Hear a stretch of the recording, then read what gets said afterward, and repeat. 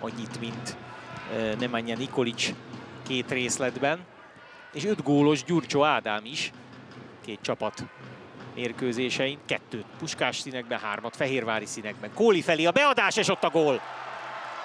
Szajszáló ment el, és remekül érkezett Kóli. Megvan a harmadik gólja a bajnokságban.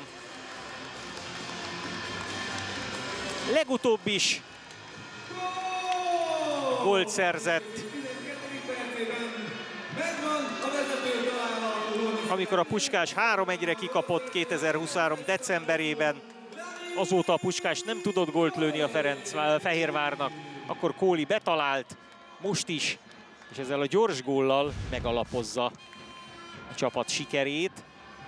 Itt egy védelmi hiba, ez pedig egy nagyon-nagyon kemény, erősen belőtt labda.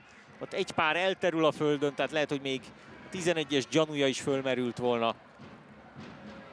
Nagyon-nagyon kemény, lapos, surranó labda középre, amelyet beküld Szajszáló, Kóli pedig jókor érkezik.